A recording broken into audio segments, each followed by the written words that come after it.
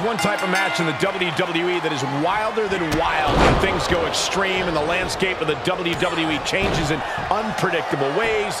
It's Extreme Rules. Absolutely, Michael. Rules are out the window in this one. And that means that from the top.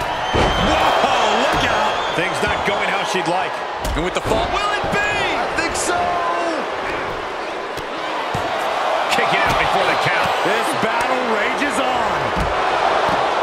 She slips outside. What has she got in mind? And it looks like she has swift. Such an underhanded tactic there. You guys wouldn't believe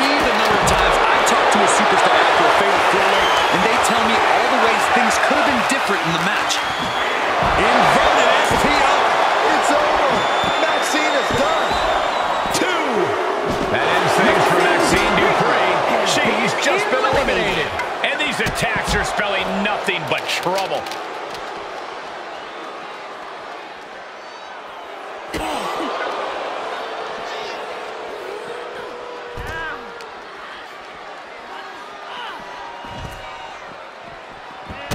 kick finds the spot. That last attack pushed on the limits of Asuka's resilience. Yeah, the physical price of the Extreme Rules stipulation is really starting to show now. What a forearm.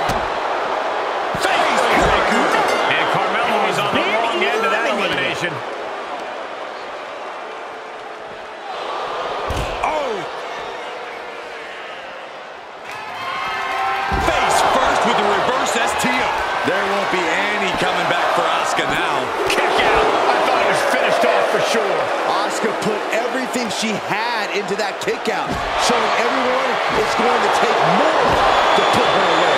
And you see a perplexed look now for how such impactful offense couldn't gain a pinfall. This is just getting uncomfortable at this point. This is getting more and more alarming with each uninterrupted attack.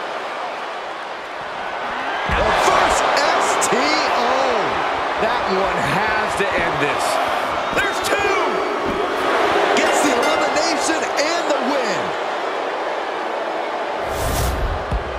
Well, it wasn't literally fatal, but it was pretty close. Take a look.